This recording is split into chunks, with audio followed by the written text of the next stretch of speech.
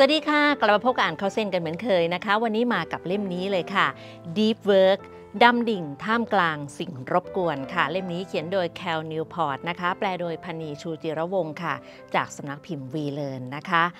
ไม่ว่าใครค่ะในยุคสมัยนี้นะคะ ต่างก็รู้ดีว่า การที่เราจะจดจ่อหรือมีสมาธิกับอะไรยาวๆเนี่ยดูเป็นเรื่องยากมากค่ะ เพราะว่าโลกของเรานะคะ เต็มไปด้วยข้อมูลข่าวสารมากมายค่ะ ที่พร้อมจะขโมยเวลาไปจากเราได้ทุกเมื่อค่ะ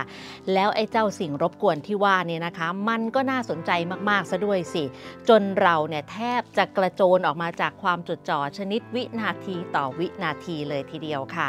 แต่ถ้าเราใช้เทคนิคการเรียนหรือการทำงานแบบที่เรียกว่า deep work เนี่ยนะคะ ทุกสิ่งทุกอย่างจะเปลี่ยนไปอย่างแน่นอนค่ะ ข้อดีของการทำงานแบบดำดิ่งเนี่ยนะคะ มันก็คือจะช่วยให้เราเนี่ยสามารถเรียนรู้เรื่องยากๆ ได้อย่างรวดเร็วค่ะ แล้วก็สามารถสร้างผลงานชิ้นยอดออกมาให้คนอื่นได้ประจักษ์อีกด้วยค่ะ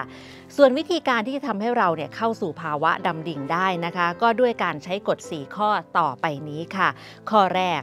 ทำงานอย่างจดจ่อด้วยการเลือกแนวทางที่จะทำให้เราเนี่ยเกิดการจดจ่ออย่างแท้จริง เช่น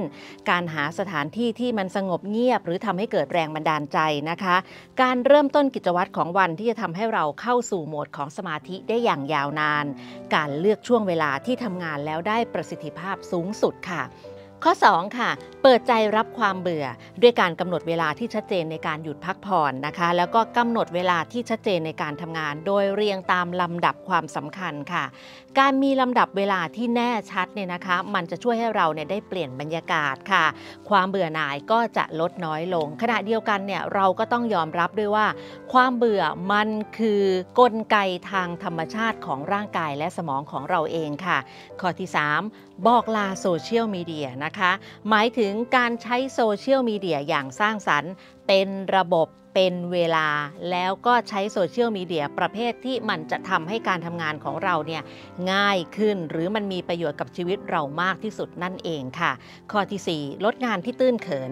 หมายถึงการไม่ทำงานที่มันไร้ประโยชน์ที่จะทำให้เกิดการเสียเวลาโดยใช่เหตุนะคะ เช่น การพูดคุยเรื่องที่มันไม่จำเป็น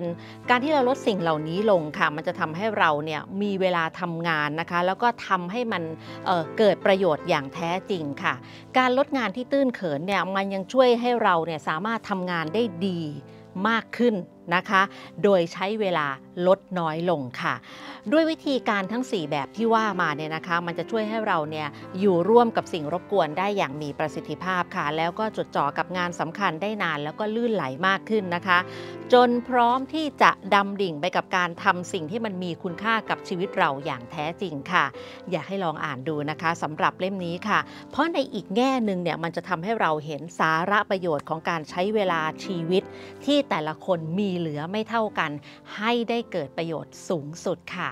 และนี่ก็คือหนังสือเล่มนี้นะคะดำดิ่งท่ามกลางสิ่งรบกวนค่ะ วันนี้หมดเวลาของอ่านเข้าเส้นแล้วต้องลาไปก่อนนะคะ สวัสดีค่ะ